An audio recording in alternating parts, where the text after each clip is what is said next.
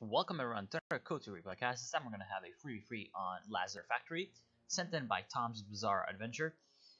His allies are going to be, obviously he's playing as the Americans as you can see. Uh, his allies are going to be SWAT playing as British, and Nikojo Italy playing as British as well. And on the enemy team we're going to have Hauptmann Yeti playing as the OKW, Braised Pork, mm, yummy, uh, playing as the Wehrmacht, and Moonstars Turkey playing as OKW. Lazur Factory. Let's talk a little bit about it. We have a pretty big sort of separating line with this uh, railway line in the center with the bridges. Obviously, this is what this map is famous for, and why a lot of people don't kind of dislike this map because there's a lot of choke points uh, that kind of separate both sides of the map, and it's not very fun sometimes to get uh, bottled up into one of these areas and not have the ability to go forward, and then it turns into an artillery duel, and it's not very fun. So that's why a lot of people sometimes like to rush uh, in some areas of the map, but we will see if they, uh, if anyone decides to do that. The few points are in a couple of pretty uh, easily defensible locations because of these cutoffs. The victory points are a little bit more exposed, being on pretty much uh, the um, opposite side, right outside of the uh, cutoff. And also the one in the center is kind of easy to uh, harass because the choke point over here is not quite as sort of annoying as some of the other ones. Looks like we have the first engagement going to be going on the left side. Nikojo's infantry sections are actually trying to build a trench. I would not recommend to do this because obviously uh, the enemy can see you pretty easily when you're doing that, so the trench will get cancelled. No resources lost there. Obviously, the trench for the British is 50 manpower, so always remember that. And you pay that you pay for that by uh, sort of having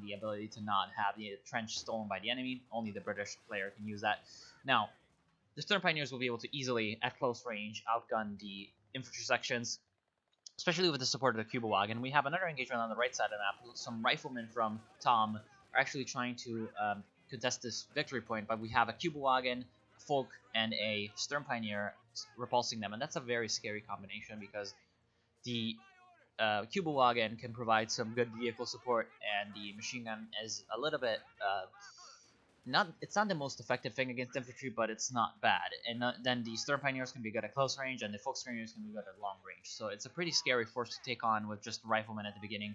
We have a mortar though out of Tom, which is definitely a good decision to try and deal with some damage to the uh, infantry and cover. Now we have a ring here on the left side trying to advance, but it's not really working out because it's it's gotten itself in a very bad position easily flanked by the uh, OKW infantry and also the Kübelwagen coming in to cut it off from the north.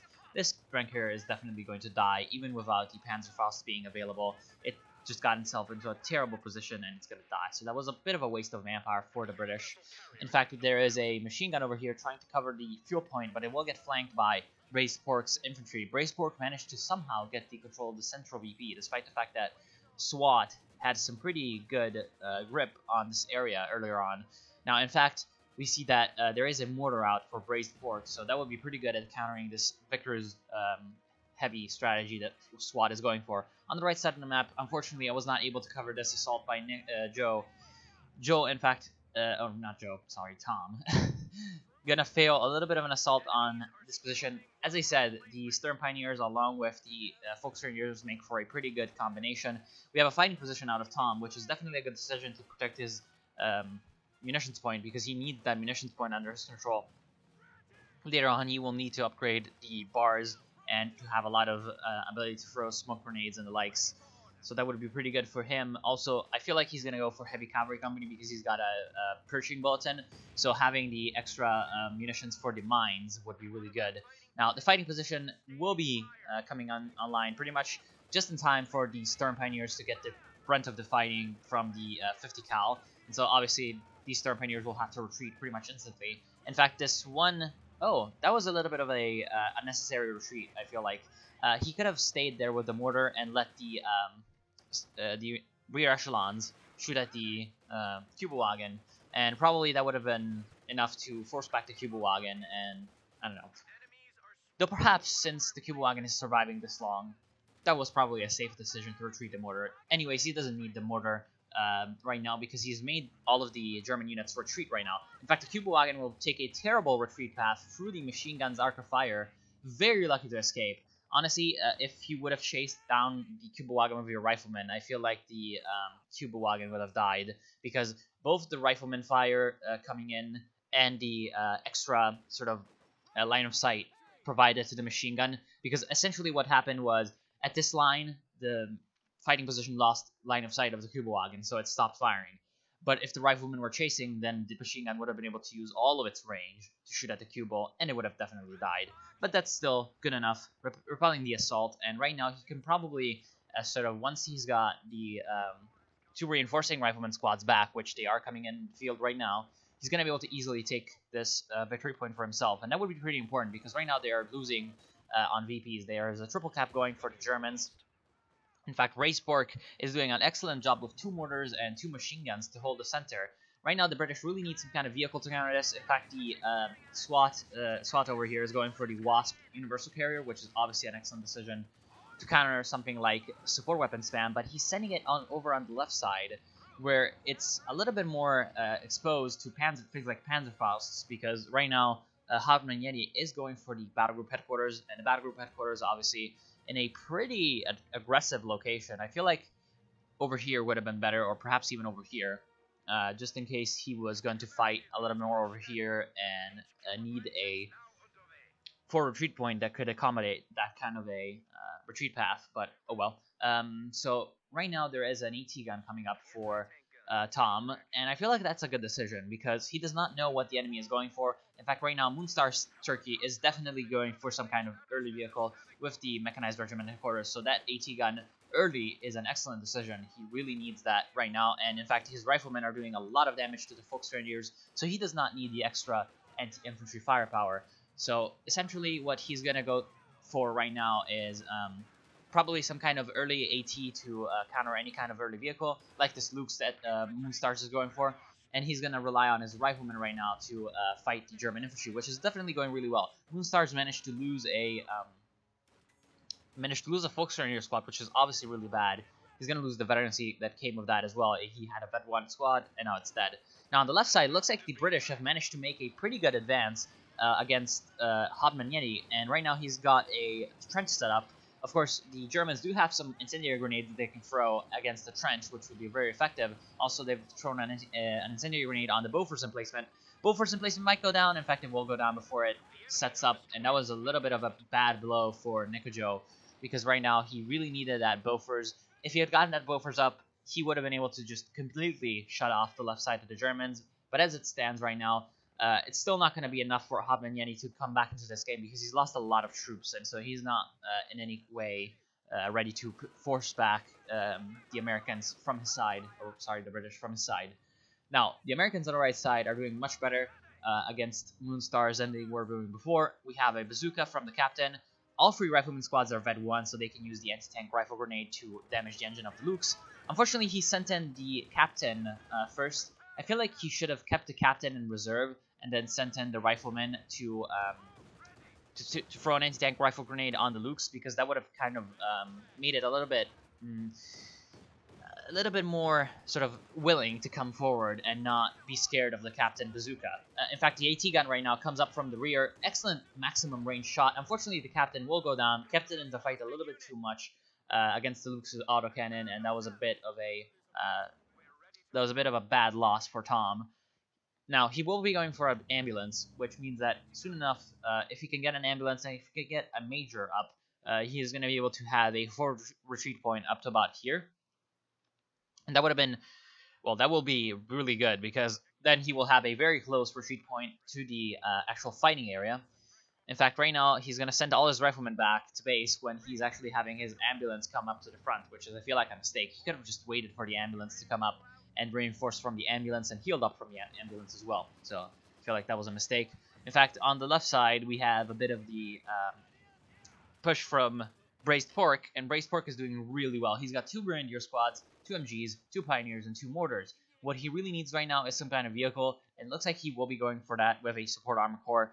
He's got the uh, Spearhead Doctrine all set up, so he could go for a Mortar Half-Track, but I feel like since he's got the support armor core, he will go for an Ostwind or a Panzer IV. Panzer IV would be excellent because it will be able to easily counter the Bofors that Nikojo went for. Nikojo managing to set up a Bofors and trying to push up on the left side a little bit. Uh, so it's doing a little bit of a uh, comeback from what he was doing before. Uh, he was having a little bit of trouble, but right now he really needs to help out his ally uh, SWAT in the center because really Braised Pork is doing a lot of damage to SWAT. Now there is an AEC armored car on the field for the uh, British, but right now it's a little bit late to get out an AEC armored car. In fact, Braised Pork will soon have the ability to get. Oh, he's gonna lose a Grenadier squad. That was not good. But he's gonna have the ability to get a Panzer IV soon, so that means that essentially this AEC is not gonna be that good. Now we do see that the um, Luchs is attacking the uh, little fortified position of Tom. That is definitely not a good idea because the AT gun is here. AT gun managing to get a lot of shots off on the Luchs, and the Luchs will be forced to retreat. Mortar still up. Uh, wasn't able to uh, destroy the mortar at all. In fact, these riflemen... Where's the ambulance? Oh, okay. Okay, I see what he's doing. It's a little bit of a sneaky move. I'm not sure as to the validity of this, but I kind of like it. Uh, it's very vulnerable if the Germans find out where it is. They can throw down some kind of artillery on it. For example, if Moonstar's TR decides to go for Scavenge Doctrine, he's going to have the 105 artillery barrage. Or even if he has Luftwaffe ground forces, a eh, actually that's far away enough that the uh, Luftwaffe drop will not really affect it. So yeah, pretty much only if he goes Scavenge Doctrine, he's going to have troubles. Or if there's a Stuka on the field, which is possible. I mean, Moonstar's going for an armored car right now is a... Eh, the Puma is not exactly the best decision, I feel like. It's going to be pretty decent against the fighting positions, but with the AT guns, and I'm sorry if you can hear the uh, saw in the background, but there's nothing I can do right now. Uh, they're doing some kind of stuff downstairs. Um, right now, there's actually a Raketenwerfer for, for Hauptmann Yeti, and it's getting attack rounded. No, actually, no, it's in line of sight. Wow, that's a lot of line of sight, though. That is a ridiculous amount of line of sight. That's probably from the infantry inside. That's weird. So the Kübelwagen is still alive from Moonstars. He could be doing doing some pretty good shit with that, aka just capping around the map in um, areas that the uh, allies don't have any troops in. And now it's gonna die from the bazookas. So actually, um, Tom decided to go for a lot of bazookas on his riflemen. I feel like that is a mistake. He should have gone for bazookas on his rear echelons. He could have built a couple more rear echelons. They're pretty cheap, only 200 manpower and then built uh, bazookas on that, and then gone for bars on his riflemen. I feel like that would have been better, uh, because right now he's going to need both anti-infantry and anti-vehicle. Great job taking out the Luchs. Luchs was not expecting the uh, volley of bazookas, and the volley will be able to easily destroy the Luchs. So good play on that. Um, again, I still feel like bazookas on rear echelons would be better than on riflemen, but hey, I've been proven wrong before. Um, actually, there is a bar Never mind. Really good. Uh, going for both a bazooka and a bar, looks like. So that's actually a pretty good build on both uh, most of his riflemen because he's going to be able to deal with both vehicles and infantry. And since only one of the two weapons actually shows up under the unit icon, that's actually really good because it kind of, um, well, it deceives the enemy a little bit. Uh, they think, oh, the, he's only got bazookas. You know, I can charge in with my Sturm Pioneers. But no, there's also a bar, and so the Sturm Pioneers get destroyed. So that's actually a very good thing that you can do with the Americans uh, that not a lot of people really uh, utilize because it's much easier sometimes to just sort of have specialized units. But it's still a viable thing to have um, both upgrades on your infantry squads. Now, there is a Panzer IV on the field for Braised Pork. He's going to have the um, CPs for a Tiger in like 8, so that's very much um, far away. So having the Panzer IVs out for him is going to be really good to bridge the gap between his earlier units and the Tiger later on. So having that Panzer IV will be excellent to deal with this AEC armored car. AC using the Panzer Tactician Smoke to uh, retreat. So good job there on the AC's part. Uh, the Universal Carrier with the Wasp upgrade is actually still alive, and that's going to be really annoying for the machine guns. As you can see already, one machine gun going down for Braised Pork. And that's going to be good for the British. However, pushing up with a uh, Vickers machine gun like this is not a good idea, especially when there's a Panzer IV on the field. I feel like uh, the British are definitely lacking in AT, especially uh, SWAT, but also Nikojo. Uh, Nikojo does have an AT gun, so he could send that over to help out his ally, but right now, that would be kind of annoying uh, to sort of micro the AT gun to um, not die in this area, because there's not a lot of friendly units for the allies in the center, so having the AT gun secure on the left side of the map is just much easier for him. Now, he does have a lot of um, sort of a SimCity going going up. Obviously, he is the Sim City commander, so that's pretty fitting for him. However, I feel like right now he definitely needs to be watching out for some kind of artillery um, spam from the Amer uh, from the Germans.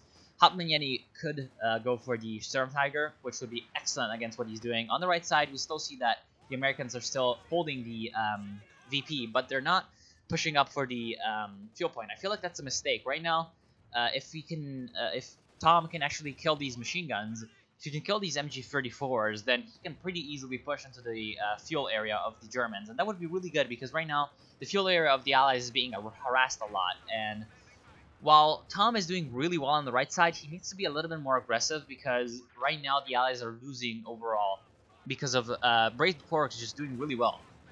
SWAT is getting completely demolished in the center, and that's kind of spilling over into the um, fuel point of the Allies. The fuel point is being harassed, and right now the Allies are not having as much of a resource income as the Germans. Well, right now they do have a little bit of a slightly more um, a slightly more fat resource income, but uh, that was not the case up until now. So right now they really need to sort of recover, and right now SWAT could have definitely just taken his MG and retreated, um, just to avoid Braised Pork just capturing with these um, Sturm Pioneers, or no, just these normal Pioneers. There is a Jackson, actually, from Tom. I'm not sure about the Jackson. Oh, a Stuka is on the field, and that was exactly what I was afraid of for Tom. Thankfully, he hasn't found out about this, because that would be really bad for him. If he found out about that, the Stuka over here would be so glorious, and that would be not good for Tom to be under, but the Stuka was still pretty good, taking out a bit of the mortar, um, almost managing to take out the veterancy on that, taking out the AT gun, and taking out the fighting position. Obviously, uh, the fighting position not exactly being the most important target, but taking it out is still pretty decent for the Germans. Now, at this point, I feel like Tom should have gone for a Sherman. And the reason I feel like he should have gone for a Sherman is because he knew that the enemy had a Puma, so he would not have enough fuel to get out a Panzer IV or a Panther anytime soon, because that's 90 fuel for the Germans. Actually, 70. Wow. I thought it was 90. I got confused a little bit. Well, still a lot of fuel. Um, so having the uh, Sherman out would have been better against the infantry that the Germans have. And right now, he does not need any more anti-tank because he's got so many bazookas on his riflemen, and he's got a 57mm anti-tank gun anyway, so on a narrow front like this, that's enough to sort of um, hold the line against any kind of German vehicles. However, uh, it's still a prudent decision to go for a Jackson. A Jackson is never bad, honestly, for the Americans. So I can understand why he went for that. Now, he went for a new rifleman squad, and I feel like that's a mistake. I feel like rebuilding his captain would have been a better decision. The captain at 320 is just slightly more expensive than the um, rifleman at 280, so it's only 40 more manpower, and it does give you a little bit of a, a sort of utility in terms of it's got a Thompson, so it's got uh, the possibility of going really well into anti-infantry if you can give them two bars. It can go into hand tank with the bazookas because you can get one bazooka uh, just automatically and then get the other one. And then you can have the on me ability and the supervised ability, and just in general, it can be pretty useful as a utility unit compared to the normal rifleman. Good dodge, actually, on the Stuka Barrage, only dealing a little bit of damage to this one rifleman squad. This one rifleman squad can probably just get retreated. Unfortunately, he kind of um, fat-fingered and selected both units when he was retreating, but since the retreat path is so damn short, he's to have pretty much the advantage over here. That's probably the reason why he's doing so well against uh, Moonstars, is because he's got the retreat path over here, so his infantry does, just does not have to walk very far. And actually, he will Wow, I'm not sure why he decided to... It's probably a misclick. He deset up the Bezier, and now his infantry are going to go back all the way to the base. I'm not sure about that. In the center, we do have a pretty a pretty good combination with the uh, six-pounder anti-tank gun and the AC. AC obviously being good because of the aim shot, uh, right, the target tread, sorry, uh, I was thinking of the Puma. Um, the target tread obviously being really good at disabling enemy vehicles, two Panzer IVs out for Braised Pork are really good, and they're gonna be a lot of trouble for the British. SWAT does have four infantry squads, but they're not upgraded. And right now he's got 300 munitions, and I feel like a research weapon rack upgrade would be really good for him. On the left side, nothing really is happening. There's just a little bit of a SimCity war going on. The Germans are definitely losing that because, well, they're trying to fight SimCity against the might of SimCity, so they're gonna die eventually. Uh, and that's pretty good for the British because obviously that's a victory point under their belt that they're not to lose. And right now the victory point situation is pretty much in favor of the Germans. So right now the Allies do kind of need that um, victory point advantage. And there is, there is in fact the Scavenge Doctrine coming on the field for Moonstars. He's to go for an Ostwind, which means that he's to have so long to go for any kind of bigger vehicles. Because he's used 100 fuel on a Stuka, 100 fuel on an Ostwind, uh, 70 fuel on a Puma, so that's already 270 fuel, then 65 on a Luchs, no, 55 on a Luchs, right? No, 65 on a Luchs. So that's like 335 fuel. That could have been a King Tiger. that could have been a King Tiger, literally, but, uh, well, obviously not, because the King Tiger also requires a little bit more of teching, um, a little more teching sort of expenses, but still. Ostwind will go down, and there is a Scavenge Artillery barrage going down. Obviously, since Moonstars has a huge amount of munitions, uh, the Scavenge Artillery will throw down a huge amount of shells, because, uh, remember, the Scavenge Artillery uh, just shoots much more sh uh, when you have, like, more munitions stockpiled. So, you have to be very careful when you're facing Scavenge, especially when you know that the enemy hasn't been using too many abilities. Now, right now, uh, Moonstars has been using a lot of incendiary grenades, but still, incendiary grenades are pretty cheap. And There's a Sherman on the field from Tom, and it's not on uh, high explosive, which is, in my opinion, a mistake. I feel like high explosives should really be the default uh, munitions for the Sherman. There is a cube trying to do something on the right side, but right now the Americans do have a pretty solid grip on the right side if they can get their infantry back on the area. What they're really lacking right now is artillery, though, uh, and I feel like the Pershing is going to really be the uh, thing that decides the right side of the map because right now Tom does not have the ability to get any kind of artillery. He was not um, he did not have enough manpower to get pack howitzers, so he does not really have the ability to take out these machine guns. Uh, I feel like the Sherman though would be much more effective on his side of the map than on the left side of the map. Because right now on the left side of the map, the main enemy are these two Panzer IVs. In fact, there is a Comet over here that can deal with these Panzer IVs much better than the Sherman can. Uh, actually, the Sherman will be trying to chase through the smoke, the Panzer Tactician trying to uh, do some uh, maneuvers against the allied armor, but it looks like that will not be enough because the Panzer IVs are going to die anyway from the Comet and the Sherman combo. Really good uh, from the allies. Going to take out the two Panzer IVs. That would be a really bad blow for uh, Braised Pork.